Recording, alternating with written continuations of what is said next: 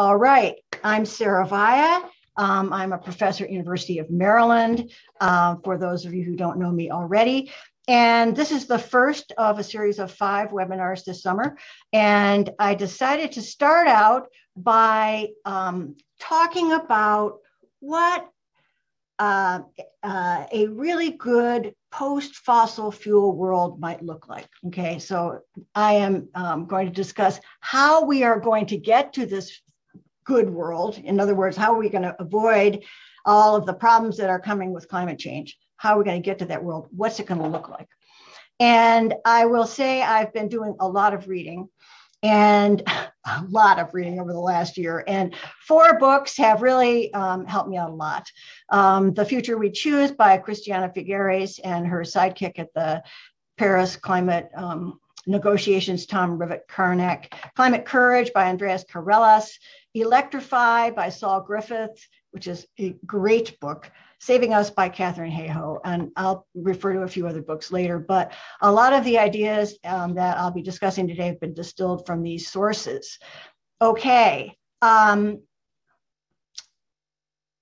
what I want to do is start out by just restating the obvious. obvious. We have a big climate problem. Um, it is no surprise to anyone that the climate impacts are increasing. This is a picture from last year when we had the big heat wave in the West, but we're having a giant heat wave across the Midwest moving east now. Um, um, we are having increasing numbers of in, uh, inland floods that are serious increasing drought, more fire. Fire season has already started out in the West, and it, things will be burning out there from now probably till the late fall. Hurricanes are becoming more frequent, more intense. Um, uh, this is a derecho, um, really damaging storm, but we are getting more and more of these all the time. We all know we are not cutting greenhouse gas emissions fast enough. The IPCC reports, I've sent out information about that in some of my newsletters, they are painting an ever grimmer picture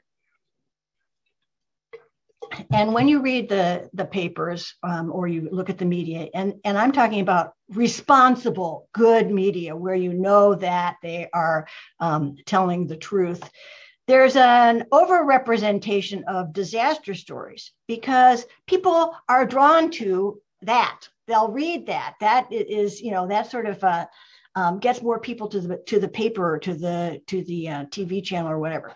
Um, and uh, it seems like with not just climate change, but every other problem we currently have, which is a long list, as you know, that it's just sometimes a little bit too much to take. And um, so I'll just ask you, hey, do you feel overwhelmed and exhausted yet? Because I'm telling you, I do. And um, over the winter, I just felt like I have got to get a better grip on this because I really can't stand um, just dwelling in the problems. Um, and I think there's something very important in this issue of the media over representing the disaster stories. It turns out, it's like, whoa, wait a minute, that solutions and very great examples of climate action that is occurring do not get very much coverage but there's a lot of progress everywhere. Okay. And I just got this book two days ago and I opened it up and um, it, it really, you know, it crystallized what I already knew. Um, uh, this woman's a, a, a, PhD and she's she runs through all the scientific sort of many scientific studies about how this is true visualizing a positive future and believing it will happen is actually the first step towards making it happen. She talks about, and this is familiar to all of us, she talks about the placebo effect. People who take pills that they think are going to work actually recover better than people who who um, um, don't take any pills. So they actually didn't take any medicine, but they recover as if they had.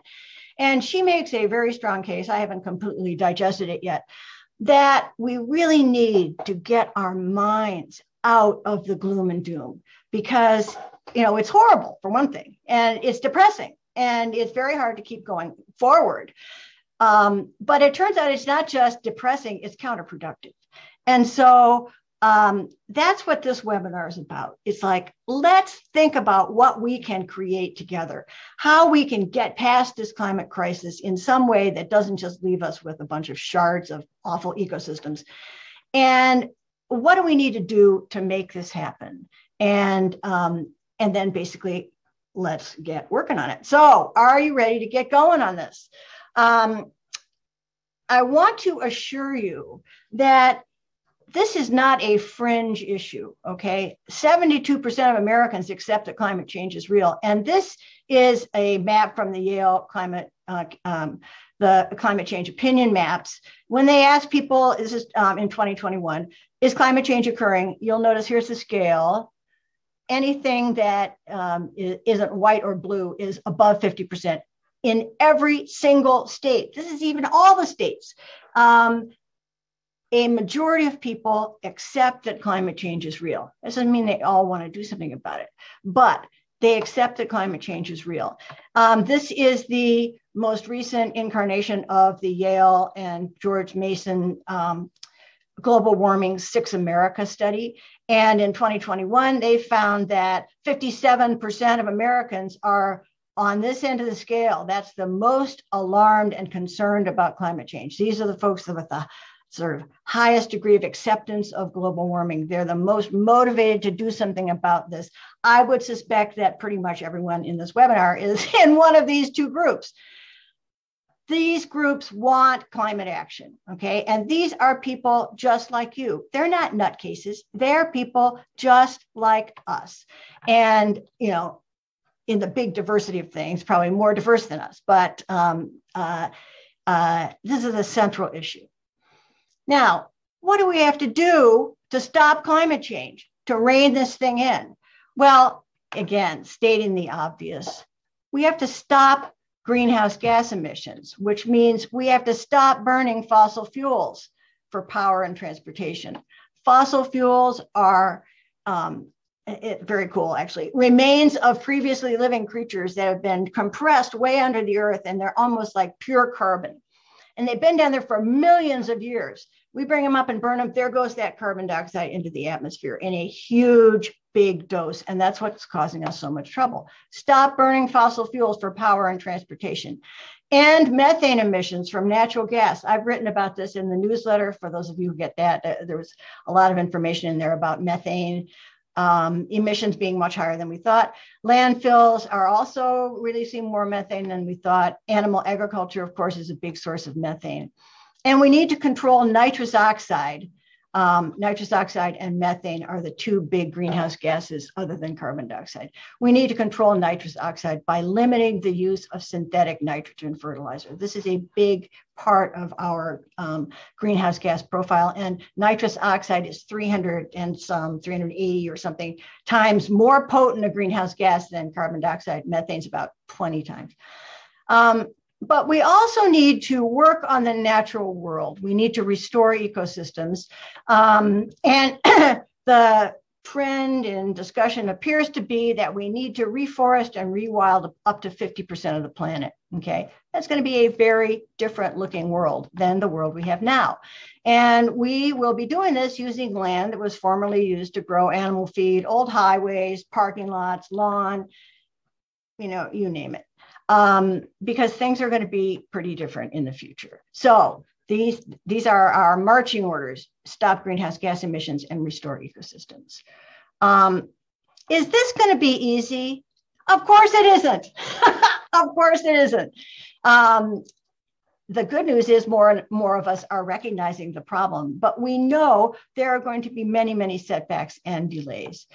But I am confident that as we move through the 2020s, people in the world want to have a good future for their kids, for their grandkids. People want to fix this. They will be feeling the pinch, the increasing impacts, both the physical, you know, the weather, et cetera, and economic impacts. I'll talk about this next time. This is really important because a lot of people have um, subscribe to the opinion that it is too expensive to fix. It's, it's way too expensive not to fix. I'll talk about this next time. I think that as we move uh, through the next 10, 15 years, action is going to accelerate. And um, I'm pretty sure I can count on most of you to be a part of that. The thing I'd like you to know, and I don't have enough time to give as many examples as I want, but people all over the country are already working really hard on this. If you read this book, Climate Courage, um, about half of it is examples of municipalities and states where really important climate action is being taken. And this is published in 2020. There are many more examples now. So there's a lot of progress being made already, particularly at state and local levels. And I'm not going to be able to review all that, but um, uh, well, there's just a lot out there. I invite you to look for what's going on in your neighborhood. Okay, so let's take a look, try to get an outline of what this great future could look like. First of all, everything's going to run on abundant, clean electricity. We're not going to be generating power by burning coal and gas anymore.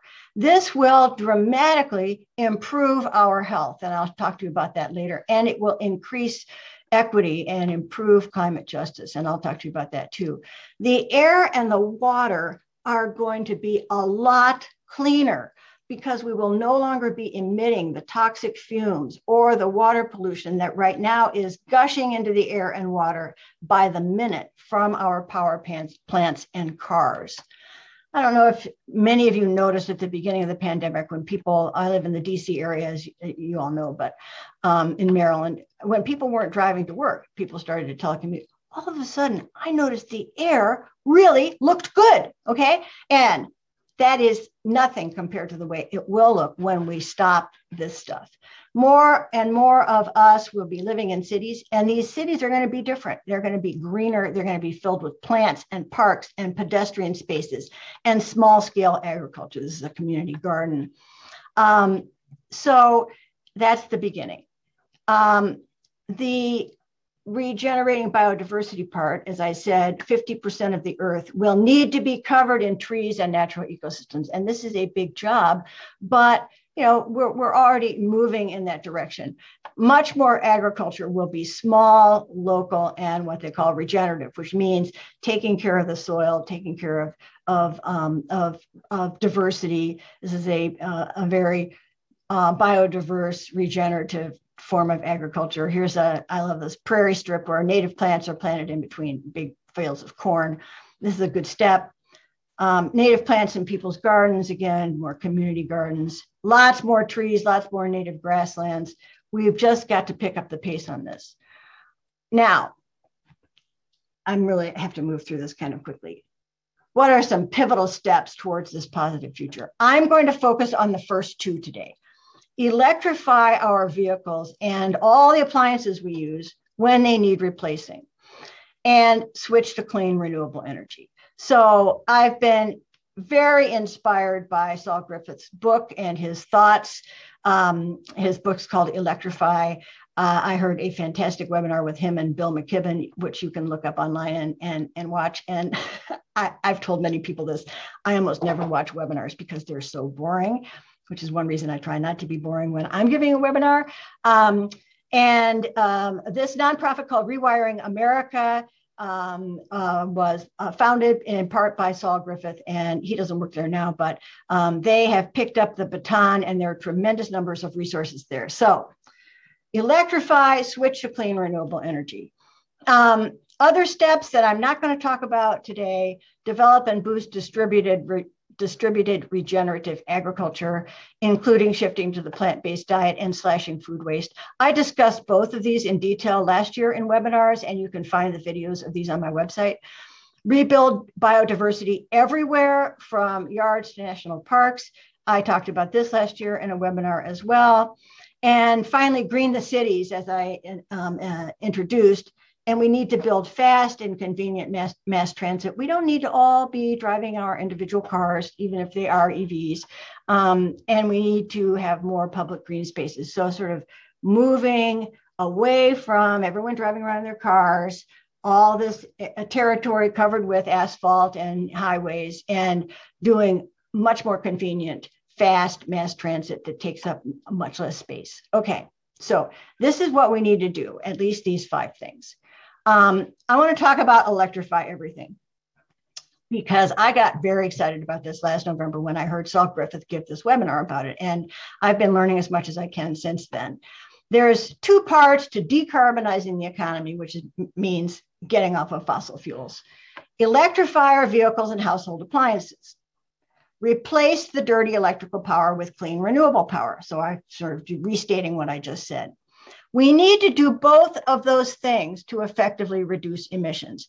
And this is a figure from, um, uh, I didn't put the link on here, but uh, there are other links to the um, um, uh, um, report on the Rewiring America website where this is found. Um, this is emissions in millions of metric tons in different years. Um, this blue goes with this line. If we do the clean grid, that means clean power, wind and solar, hydro, nuclear, um, then we can reduce emissions as we need to and really get down low, low, low by 2050.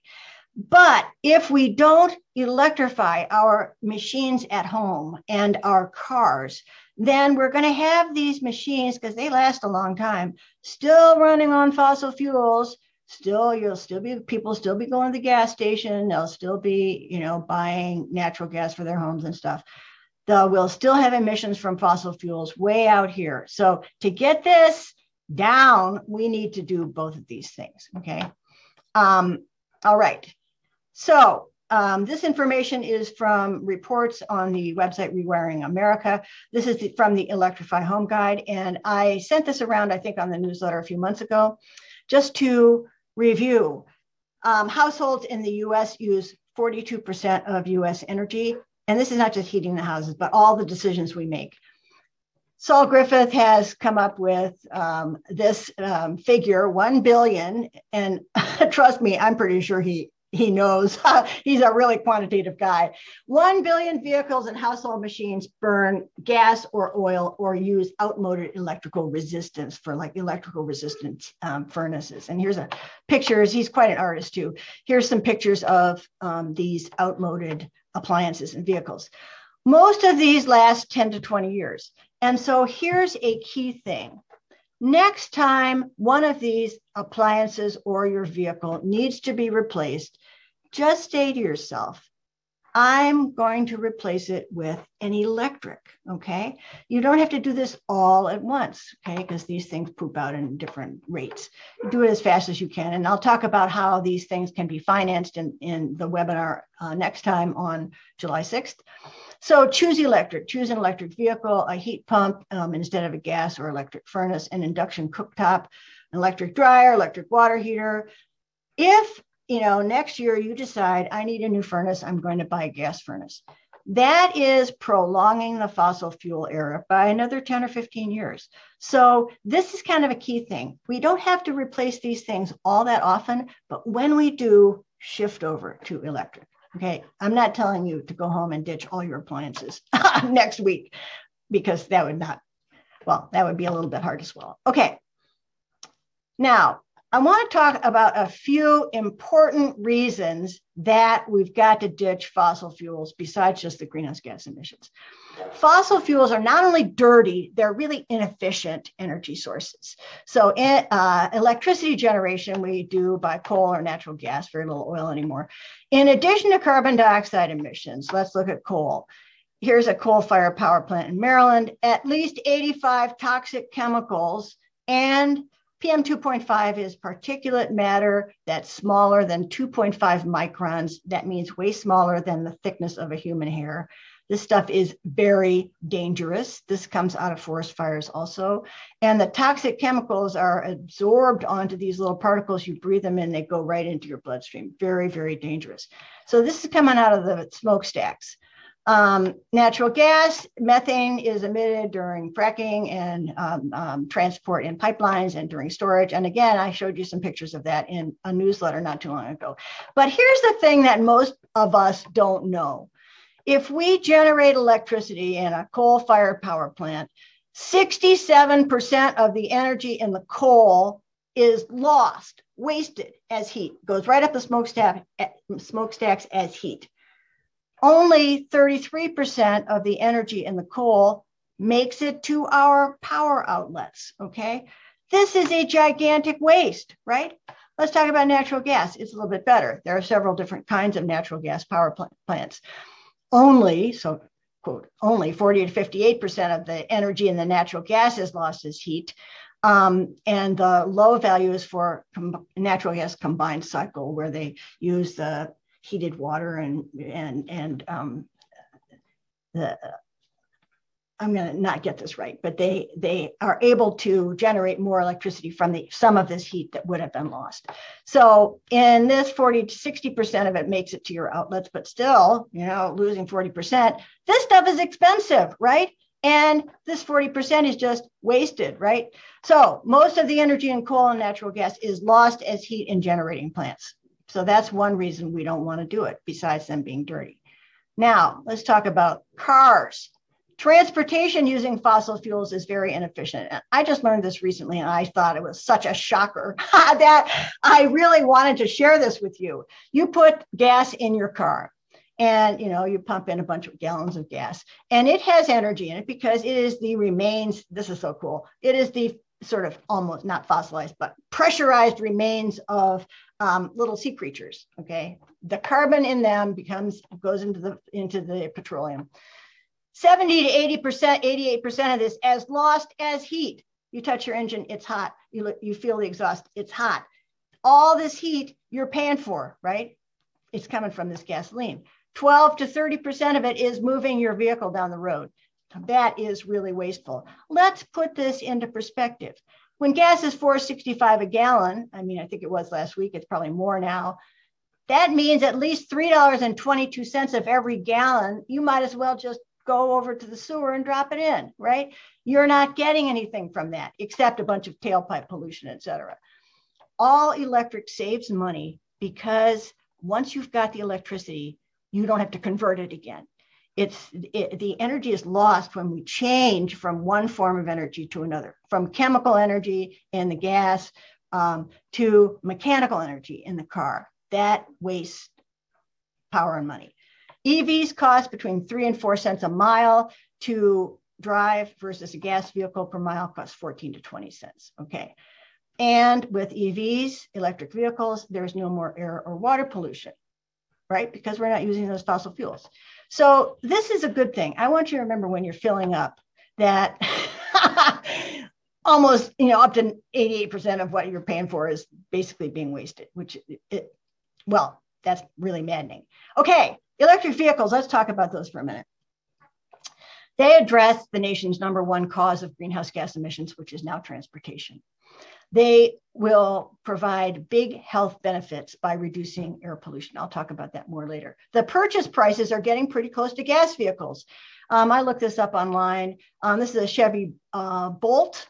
It's about $32,000 before the $7,500 tax credit. And if you don't want to subtract in your mind, it means that after the tax credit, it's about 24,500. Not bad, it's a great little car. This is a Ford Lightning, their new electric F-150. Um, the fleet versions, the fleet models are as low as $39,000. And they, you know, for people who want to pay for all the bells and whistles, you, you know, like they already do with their Ford, you know, F-150 top of the line, um, it goes up to $97,000. But they're hoping to sell a lot of these trucks to fleets because they have a lot of features that people can plug in their equipment, their tools and stuff in the back, in the front. You know, this, there's no engine under here, right? They call this the frunk. Anyway, these are within striking distance, you know, in, in, as reasonable prices for vehicles. The operating expenses is much are much lower. Okay, remember what I just said about how much of each gallon of gas is wasted, and um, you know, a couple of cents per mile versus 14 to 20 cents. Now, people worry a lot about the lithium batteries.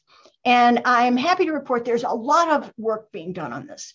Um, uh, I read an article not too long ago in a reputable source of um, it, a lot of smart people out there who are trying to invent stuff. You know, and, and this article was about extracting lithium from water. Okay, I don't know how they do that, but what's really happening already is that people have very good ideas about how to recycle lithium batteries and in fact and get the lithium out um, and without you know wasting it and then using it in new batteries so that is what we need the circular economy I use, you know, lithium in some electric vehicle I buy, and then when that is dead, um, they take out that battery, they recycle it, they put that lithium in another vehicle. That's what we need. And um, you know, people who worry about, I don't want to be in somewhere when my battery goes dead. The nationwide charging system is expanding. Ford is really working on this, and other, you know, Tesla has their own nationwide system. Ford has a system where you get a little app and it tells you, okay, you, you can go plug in your truck or your your other electric vehicle from Ford over here. Um, this is really important infrastructure. Okay, electric vehicles even when the power source is dirty that is even you know before we get clean electricity electric vehicles are cheaper and cleaner than gas vehicles even where the power source is dirty. This is from union of concerned scientists in 2020 they uh, these are different power regions.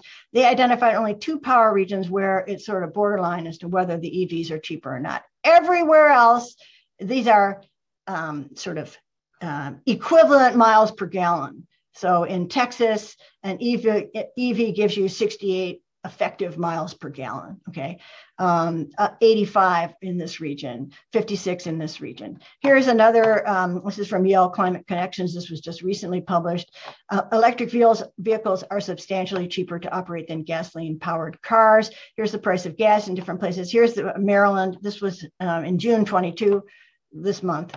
Um, Maryland price of gas for 60. Filling up filling up the battery in an electric vehicle would cost you the equivalent of $1.43 per gallon. That sounds really great to me. Okay. I really like that. And um, and that price is going to remain relatively stable. And I'll show you information about that in a few minutes. Um, okay, now that's electrifying our vehicles and our appliances. When we add in clean power, that is, when we clean up that grid we are super efficient. Why is that? There's no more conversion loss. We generate electricity in the turbines and in the uh, panels, solar panels, generate the electrons in there, and then they come flowing down the line, wherever it is, into your VW microbus. This is a prototype model, which I, I think is so hilarious. It's like back to the future, right? Um, no conversion loss. The electricity is generated, it goes in the vehicle, it moves the car. There's no changing from one form to the other. Plus, big bonus there's no more carbon dioxide, no more methane, no more air and water pollution from mining, transporting, storing, and burning the fossil fuels. This is like a really, really great picture. I am so happy when I think about this. And I um, I'll tell you for the last week, I've been working on this webinar really intensively. and I have been finding so much information, so much progress. I can't summarize it all. I can barely keep it all in my head. And um, I'll just assure you that there is a lot happening out there that is uh, pushing the ball forward here and, and, and, is heading us towards this, um, towards this future. Um, big, big bonus. Saul Griffith writes in Electrify, and he has a big calculation about this, but um, I think you can understand from how much energy is wasted in electricity in cars. When we have everything electrified and a clean power grid, America's energy needs will be cut in half. Whoa, we will need half as much energy as we use now. Here's a, a wonderful graphic from Rewiring America all the American dream, half the energy, none of the emissions. It's like I like this world. This is the world I want to live in, right? Where where we have enough power, the energy becomes abundant, clean, and cheap. We're not, you know, scrambling for every kilowatt hour because we have reduced the amount we need. Um, I have, I'll just give a little aside. I have solar panels on my house, which I, I put up there in 2008. And when I had the, you know, guy come over from the solar uh, company, I said, okay, well, how big of a system do I need? He says, the first thing you should do is figure out how you can make your um, uh, house a little more efficient. So you don't need to replace as much power. It's like, dang, if you don't need that power, you don't have to replace it. The fact that when we're electrified, we only need half the power makes this vision, wind and solar, a lot more realistic. It's so exciting to me. So every household in the US will benefit, and I'll, I'll give you a few little financial numbers and, later on in the talk. Okay, this is important these days with um, all of the strife going on in Ukraine and Europe. Um, and all of the past strife we have gone through to acquire and protect fossil fuels in these far off countries. Once we have electrification and a clean grid, we will be energy independent. We will not need oil and gas from Saudi Arabia, Iraq, Iran, Russia. We will not have to send our forces over there to mess around and protect these energy sources. We will not have to deal with non democratic governments. Bill McKibben wrote a wonderful article in the New Yorker where he basically calls it heat pumps for peace and freedom. When we are electrified, we can just say, we don't need your fossil fuels. So long. Okay, homegrown energy made in the USA. I like that. And this is a, uh, uh, a nice um, graphic from Rewiring America. I wanted to show you this. Electrification and a clean grid will protect you from the kinds of price increases we are struggling with right now.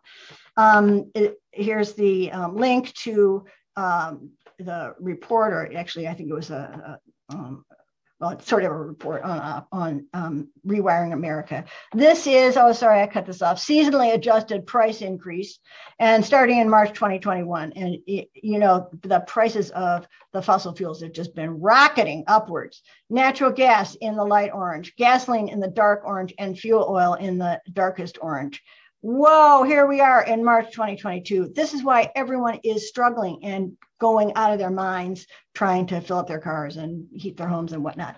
Here is the change in price of electricity way smaller, way smaller. So if you are electrified from a clean grid, we are protected from this. Okay.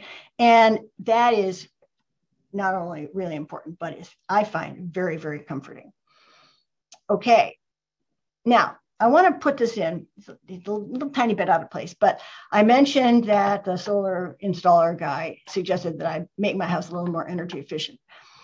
And this is really, you know, useful. However, energy efficiency alone will not solve our problems. Um, and this is a, a, a, cute little graphic again from Rewiring America, and I appreciate them sharing this with me. Um, the efficient appliances powered with fossil fuels still have the waste and emission problems. So if we, here's what we're using now, here's how much is wasted. If we make our machines and vehicles more efficient, okay, we're using a little less, but there's still a boatload that's wasted. If we have clean electrification, a little tiny bit is wasted, but we are not using nearly as much. Okay.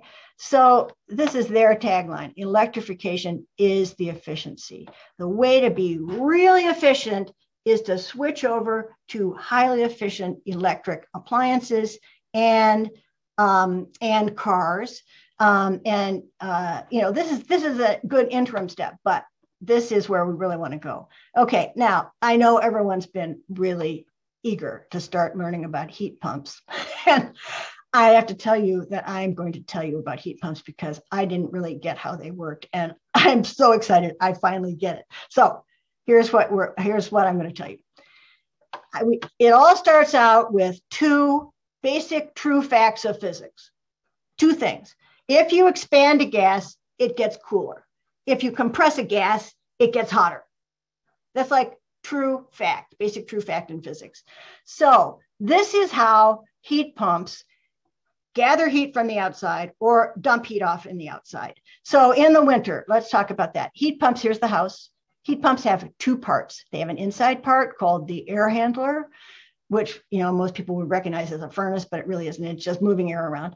And it has an outside part where there's a compressor and an expansion valve. Okay, so we have outside is where the expansion and compression of the gas happens. So in winter, here we are, uh, air in the house is cool, goes in here, goes, well, goes in here, comes out, goes over here, goes outside. Okay. And it gets to the expansion valve. Now, this air is pretty cold because it's been your house. Okay. Probably warmer than outside, but still it's pretty cold. The expansion valve allows us to expand and it cools way off. Okay. So that it's colder than the outside air. Okay. That sounds improbable because these things can go down to minus 15 degrees F. But that's the miracle of expanding the gas. Colder than the outside air. So this cold refrigerant absorbs heat from the outside, even when it's cold out there. And then it goes to the compressor, and the compressor um, presses it down and makes it hot. And then it goes into your house, dumps off the warm air, comes back cool air. Okay, that's the whole thing. We take this refrigerant, which is, you know, uh, has special properties, um, and uh, allow it to expand, cool off, and then compress it, heat it up. Now, in the summer, opposite. So this is what I just said. Direction of flow is reversed. Okay, instead of um, it going out to the expansion valve from the house, it goes to the compressor. So the air is warmer in the house. Um, uh, they um, compress it. It gets even warmer than the outside air. So it dumps that extra heat off to the outside air. It's the difference in temperature that makes this thing work.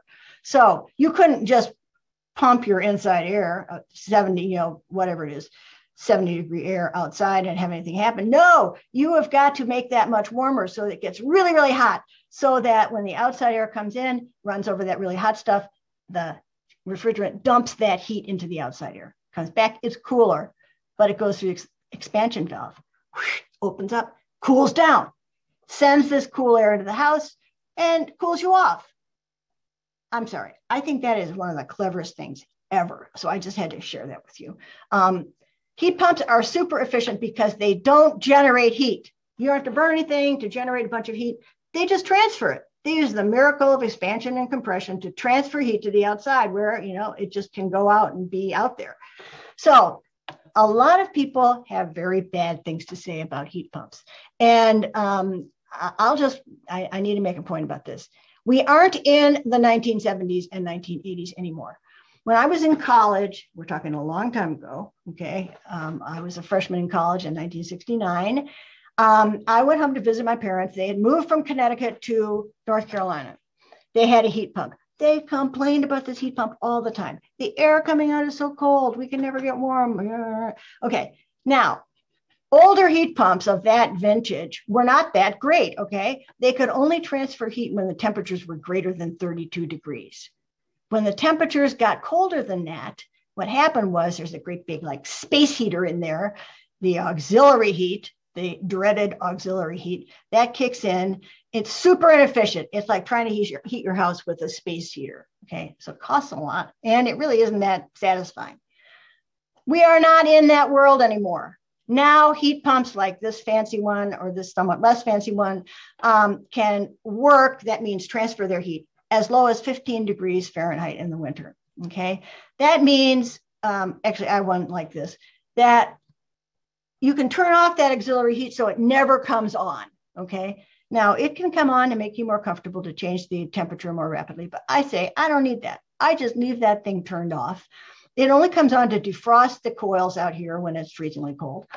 Um, and this saves a basket of money. Um, we also have improved variable speed compressors. It doesn't just go on or off, it's variable speed. And in the summer, in fact, I think right now in my house, the variable speed compressor is on and it's dehumidifying the air this is a mistake before the compressor comes on. Um, uh, it's dehumidifying the air before it has to go to the extra step of, um, of uh, uh, uh spending any more energy on it. I, I didn't say that very well because I don't think I understand it completely, but this is what happens. It dehumidifies at a very low expense. Okay. The next innovation to embrace induction cooktops, and you guys are going, what are those? Nobody knows what induction cooktops are. So let's review. In a newsletter, I sent out this article about um, a study done in California where they measured how much methane and other air pollutants are coming out of the gas cooktops, um, just leaking out, even when the darn things aren't on, even when they don't have a pilot light running. So gas cooktops pollute your house. The old electric cooktops, this is the old style. This is a semi-old style. This is where you have actual coils. These are resistance and they pass electricity through there and they heat up. Okay. This is just the coils are under glass, so it looks a little cleaner. Okay. But the old electric cook, cooktops heat up the coils. Then that heat from the coil heats the pan. But actually, I just read today, 68% of that heat actually it doesn't even go into the pan, it just goes into your kitchen. Who needs that, right? Another big waste. Induction cooktops are completely different. They transfer the electric current directly to the pan. This is what one looks like. It's funny, they, um, because the burners, so-called burners, they're not really burners anymore, they don't get hot. People don't know, don't remember that they're on. And so they had to um, put these extra little lights on here to show you that the thing is on. Because if you touch it, it won't be hot. Okay. So nobody wants to leave their thing on all night and waste a bunch of power. So they put these on, which I think is kind of interesting. The way this works is there, the, there's an electromagnetic field below the so-called burner below here. And it heats up the pan, okay, directly. No heating of the air, nothing. It heats up the pan. You have to have a pan that will, will, is, will respond to an electromagnetic field. And you know that if a magnet will stick to it. So you have to have, you do have to have a pan, cast iron or stainless steel. Um, this cooks the food very, very much faster. And it's a lot more responsive to change because you don't have to wait for these coils to heat up and go down. It, it, it's pretty much instantaneous. And even some big time chefs, I don't keep track of the big time chef circuit, but even some big time chefs are adopting induction cooktops because it has a similar feel to a gas stove top where you can control the heat very, you know, uh, sensitively. The top never gets hot. you've got to have a special pan. Now, there aren't induction ovens. Electric ovens still use resistance. But the cool thing is, if you get a convection oven, which has a fan in there that circulates the air, that speeds up your cooking. You can cook everything 25 degrees lower than the nominal temperature, and it uses 20% less energy because it circulates that warm air instead of just leaving it in there. When you circulate the air, that heats up your item in the oven faster than if you just let it sit there. So um, even though you have to still buy an electric oven, okay, um, get rid of your gas oven if you have a gas oven. Um, we still have to use resistant electric, but buy a, buy a convection oven. Okay, laundry. Gas dryers pollute your house pretty much in some of the same ways as the gas cooktops. Um, so here's a front loading high efficiency washer and a heat pump dryer. Um, uh, I wanted to mention something about these front loading washers. I have one, not, not this model, but I have one like this. And um, it's already electric, right? So I'm not electrifying anything different. But what this thing does, it, it, nobody ever mentions it, it's a life changer. This thing spins the clothes so fast, it sounds like a jet is taking off in my laundry room. And the clothes come out of there all, three quarters of the way dry compared to a top loading, you know, regular washing machine. Um, and that is, you know, that is going to save you a lot of power. It speeds up the drying, et cetera. Dry electric, especially Energy Star dryers, have heat sensors, so they turn off when dry. A lot of people, you know, just say, I'm going to dry for 60 minutes. Well, if it's dry in 30 minutes, you're still paying for that extra power. Heat pump dryers are also available. They work on the same principle as the heat pump furnaces. But I'll ask you, if you have the ability to, well, everybody can put one of these up in their basement, but if you have a place to hang a clothesline, why not try solar clothes drying with a clothesline? Um, I've said this to many people before, which everyone finds to be pretty funny, but um, legislation was passed in Maryland, I don't remember what year, uh, to make Maryland a quote, right to dry state. That is, your HOA cannot tell you you can't dry your clothes in the backyard. They might say you got to dry them under the deck, but they cannot forbid you from drying your clothes outside. So, hey, give it a try. Um, I do it and it works great. Okay. Now let's talk about clean renewable energy. We need to move to generating all electricity with clean renewables. And this is some good news here just since 2009, 2009 to 2021 on both graphs, the price of wind per megawatt hour has plummeted, but not as much as the price of solar. Okay. So, what used to cost um, for a megawatt hour almost $400 back in 2009 costs $40 now. This is exactly what we need. So, um, this comes from a report that comes out every year from this organization called Lazard.com. They calculate the levelized cost of um, electricity. And by levelized, they mean they put all the forms of electricity on the same scale. And when we do that, we can ask how much does it cost to um, generate a megawatt hour with onshore wind or with, I'm sorry, onshore wind if we have a subsidy. Solar, um, um, solar panels, utility scale, or subsidized solar. Okay, so these are relatively small subsidies. A lot of people say, well, hey, we shouldn't be we shouldn't be subsidizing these forms of energy next time, well, even later this time. Don't forget that we spend trillions of dollars a year to subsidize oil, gas, and coal. And I'll talk about that later. But nobody ever talks about that. Those subsidies are not calculated in here. Um, but when you look at the marginal cost of coal, nuclear, or gas, you can see that coal is actually more expensive than utility um, um, scale solar.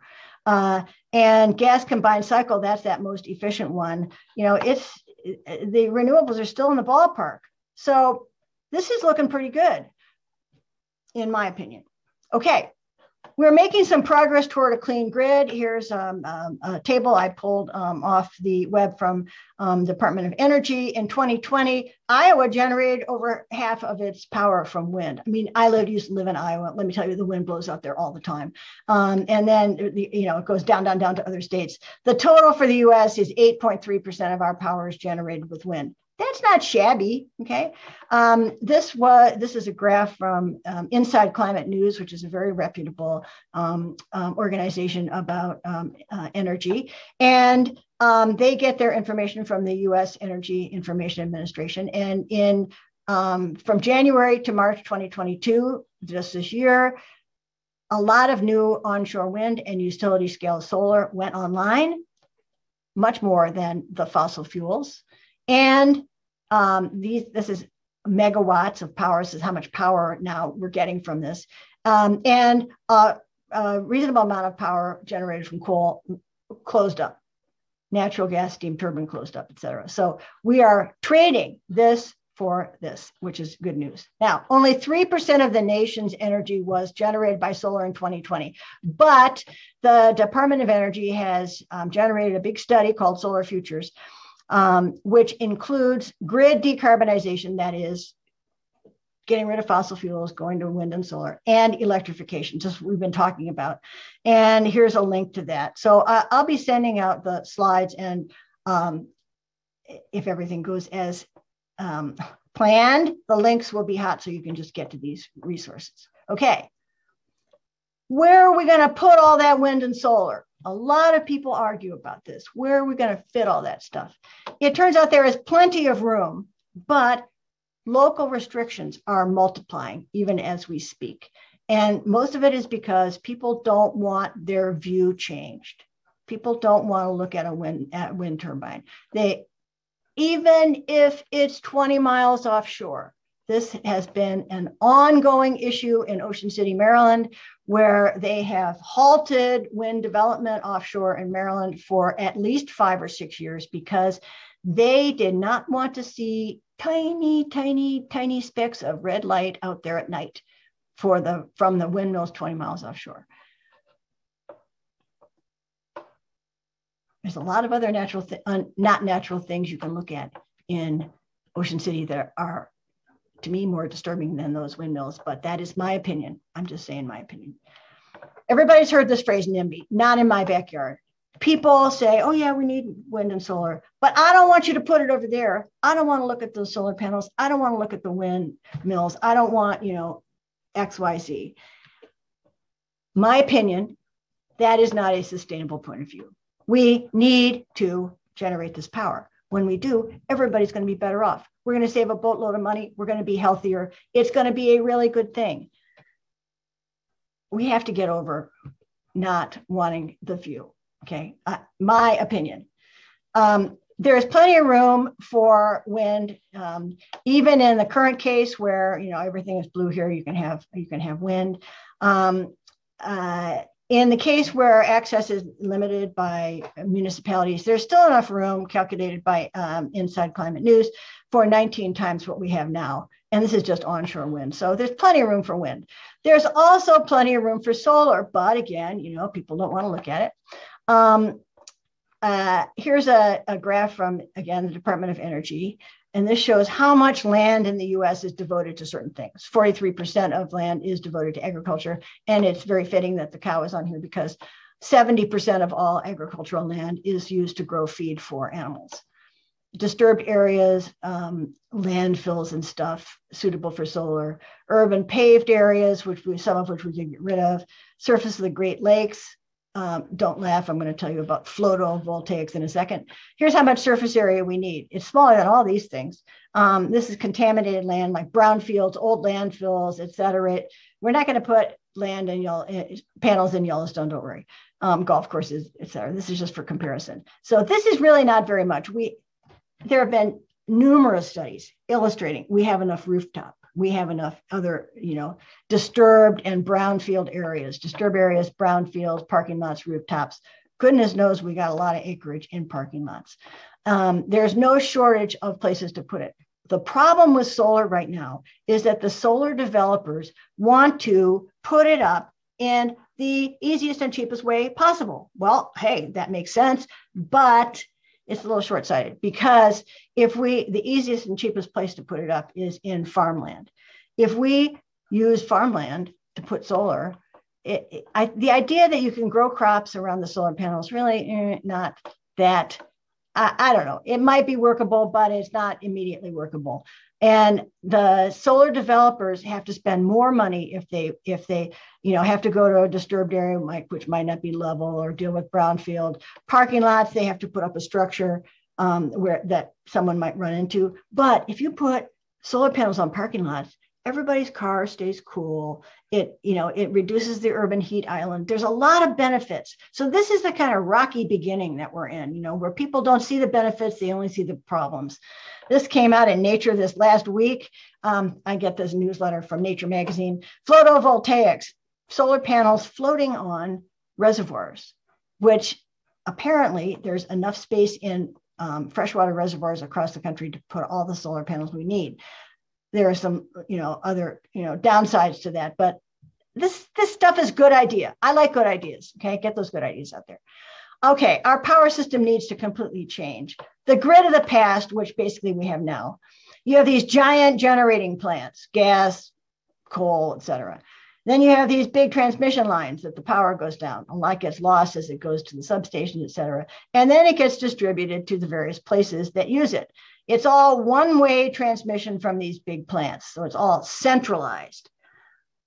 When the grid gets smart, and it's starting to get a little smarter all the time, it's not going to be so centralized because we're going to have a lot of sources of power. In addition to, we'll have these power plants for a while, or we'll have big solar arrays or big windmill farms that'll be more centralized and we'll have transmission lines and stuff but we'll also in local areas have some solar generation. Some windmills will have batteries. Um, this is a generator car electric car that is essentially a big battery.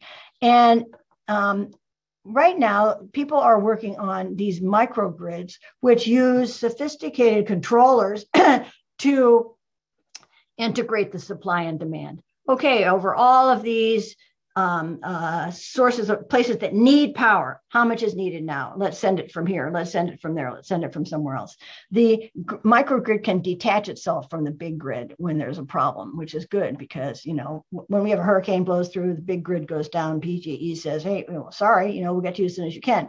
If you're on microgrid and there's solar panels on people's houses and people have electric vehicles and there's utility scale solar, you just turn off from the big grid hey, we're just going to use the power we have here for the for the moment.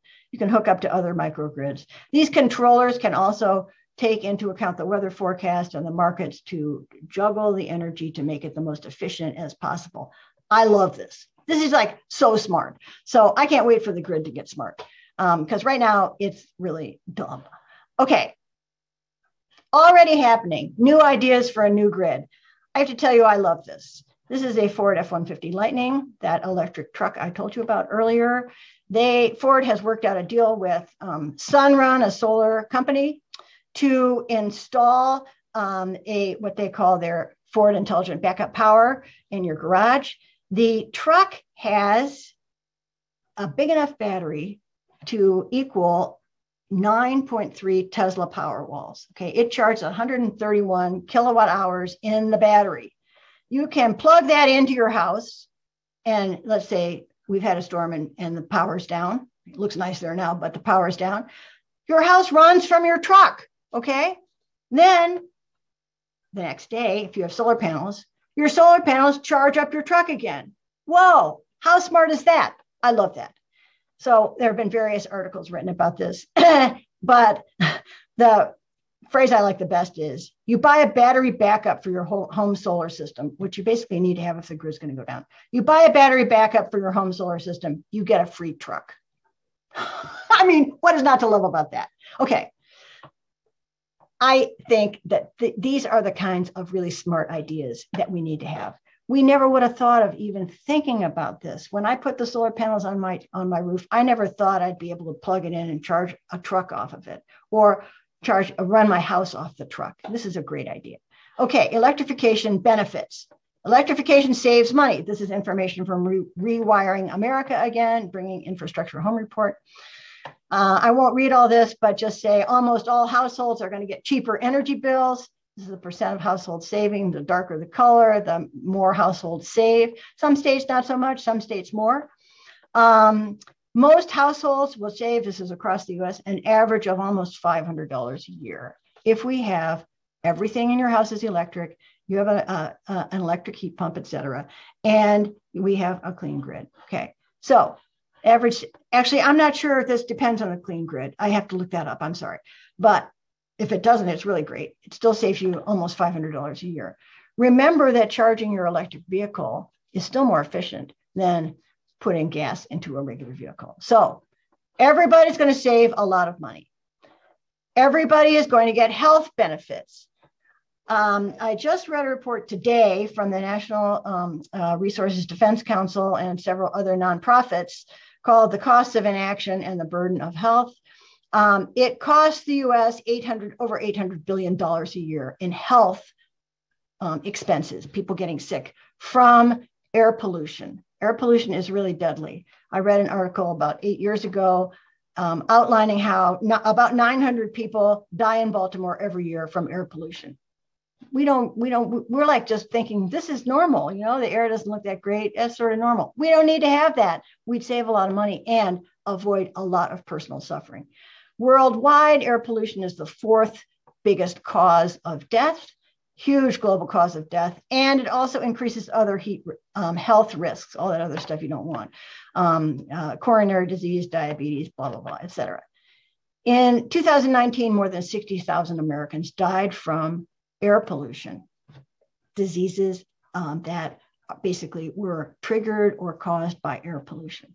This is huge, big health benefits.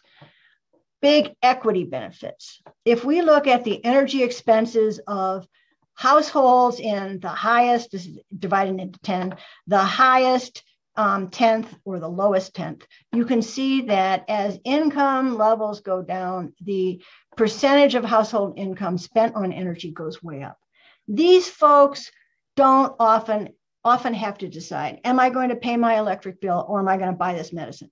Am i going to have to work a third job to pay my electric bill and my kids won't you know ha- have to stay at home alone because i'll be working at this job energy expenditures are a big big issue in lower income neighborhoods when we clean things up there'll be less air pollution in vulnerable neighborhoods. And we already know that they are taking the brunt of the gas and coal fire, fired power plants, the chemical plants, et cetera. There's so much more air pollution. If you look at neighborhoods in Baltimore, the neighborhoods by the power plants and the incinerators are the ones that are less um, affluent than other neighborhoods.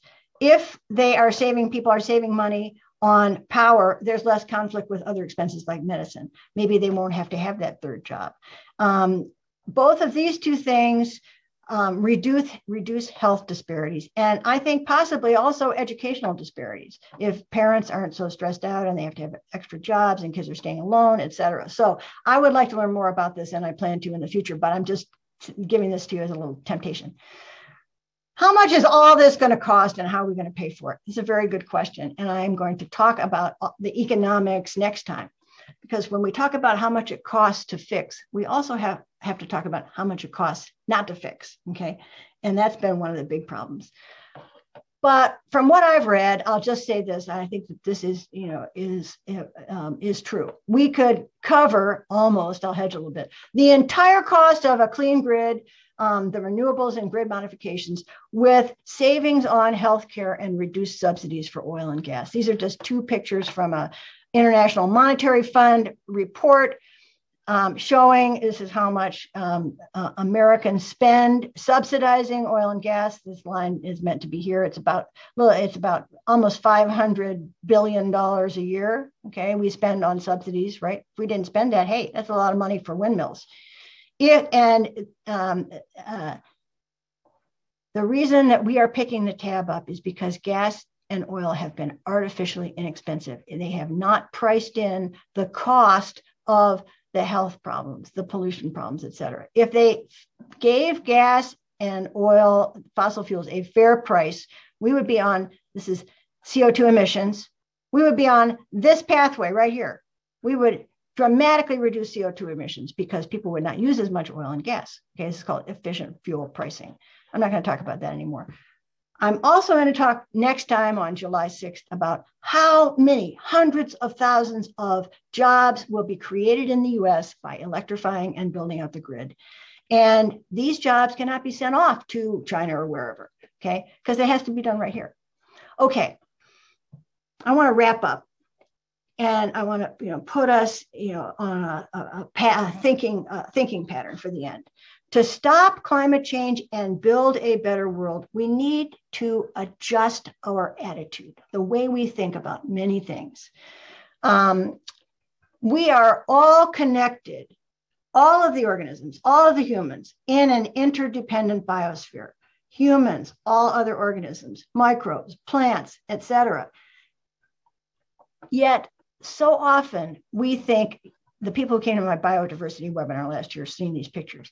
We think of humans at the top of the biodiversity heap. Somehow we're up here, we're separate from that. We don't need to worry about them. Right? They're out there doing whatever it is they do. We don't have to worry about them, but we can't harvest them and use them for our own purposes. But we are not affected by them. That is not true. Okay. And we are finding that to our peril right now. We cannot exist without that whole web of life. We are not separate from it and we are not above it. We are in it. Okay. And what affects one element, this is funny, these are all vertebrates. Oh, not all vertebrates, but you know, this is a very sort of depauperate picture of biodiversity no plants, no insects, no microbes. But anyway, just visualize it for yourself. We are in there. We depend on them. We can't wreck it, or otherwise we can't continue. And I want to point this out too. This is super important. This is not about saving the earth. We are not doing these things because we, want, we need to save the earth.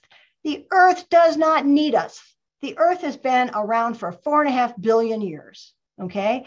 And life has evolved um, during that time. You know, I'm an evolutionary biologist, so I could really bore you with this, but I'm not going to. Life has been around for about four billion, three and a half billion years. Okay. Humans have been around for 300,000 years. Like, whoa, the most recently evolved major species, humans, just came onto the planet 300,000 years ago into a whole biosphere populated by other species. What affects one um, species in this biosphere will eventually affect us all, and we're starting to learn that. Um, we are saving ourselves from the uninhabitable world we've made. We're not saving the earth. The earth is going to go on without us. There have been five major st- extinctions already, and 99% of all species that have ever been on earth are extinct. There is no reason to expect that humans cannot go extinct. Hey, we can totally go extinct.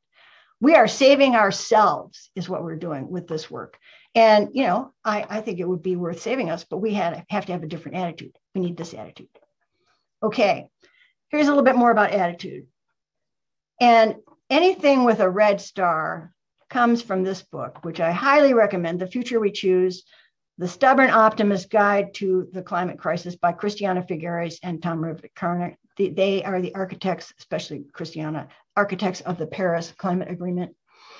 I listened to this uh, as an audiobook and it was incredibly inspirational. I can recommend it. I got it for free out of the Maryland Digital Library. Really worth it. We've got to let go of the old world. We can't say, I don't want my view interrupted. We can't say, I don't want fill in the blank. We cannot have the world we you know, dream about, we think we have. That world is disappearing rapidly. We cannot have that world. We cannot go back to the 1950s. We, it, it's not a possibility. We have to let it go. And Christiana Figueres says this very eloquently. She basically says, face the grief of having to let that go, but turn your face to the future and work for that. I am 100% on that. Um, humans have historically lived more cooperatively. Okay. It's really only been uh, a few hundred years where everyone lived individually, where we've had this sort of very extractive economy, where we didn't share, we had to have our own stuff, et cetera. Historically, humans have lived more cooperatively. And Figueres and Rivett-Carnac talk about the need for cooperation, the, the power in sharing work, in sharing goals and sharing rewards, the social benefits of that, the economic benefits of that. Um, and I'll leave you to read that for yourself, but um, I think that's pretty important. They also say, see yourself as a citizen. Get involved in civic engagement. Get involved in your community. Get involved with your neighbors, with if you have a faith community, with them. See yourself as a citizen with responsibilities, not as a consumer, defined by how much stuff you've got.